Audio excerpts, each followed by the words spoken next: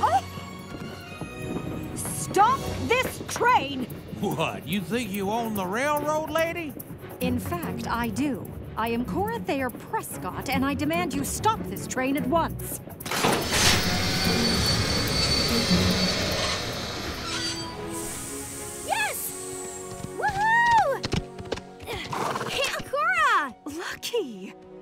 Earth are you... I'm sorry I'm late, but I had to finish this.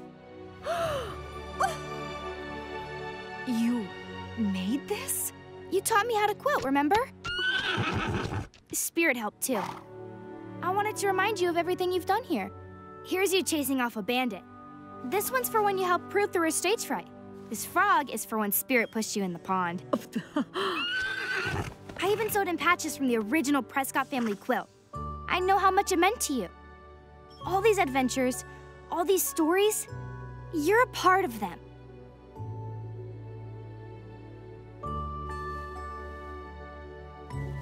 Happy surprise birthday, Boomerang!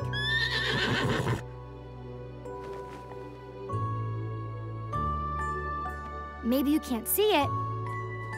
You're late! There was a long line at the general store. Come on, then.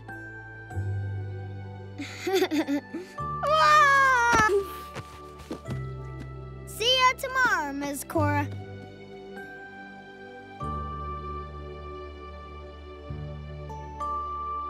And maybe it's not what you expected. Ah!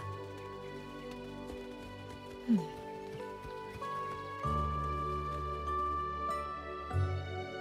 But you do have a place here. You belong in Miradero. With us. I think...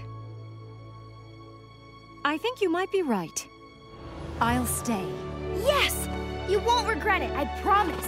Dad and I will help you with the cooking and cleaning and... Lucky I'll stay in Miradero, but I won't be moving back in with you and your father. You've made a new life for yourself here. It's time I did too. I need to find my own freedom now. But I'll need your help, Lucky. You've got it. Maybe we'll even get you your own Mustang. We'll see. Come on, let's go home.